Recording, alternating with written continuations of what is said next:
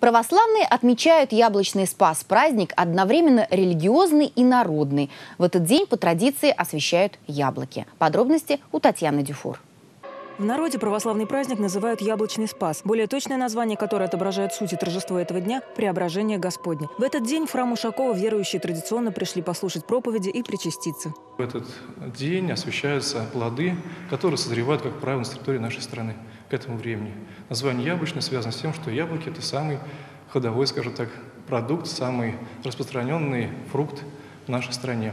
По древней византийской традиции в храме осветили и плоды, однако это лишь обрядовая часть праздника. Суть в возможности преобразиться душой. По церковному календарю праздник выпадает на Успенский пост. Считается, что до этого дня не стоит есть яблоки нового урожая, а также верующие отказываются от животной пищи и отдают предпочтение фруктам. Отказывание себе в пище, в элементарных вещах, человек научается отказывать себе и в остальном, что касается его духовной жизни.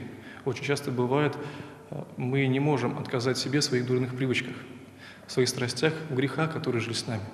И через отказывание себе в чем-то элементарном человек научается отказываться и от этих сластей, которые губят его душу. В этом и есть смысл.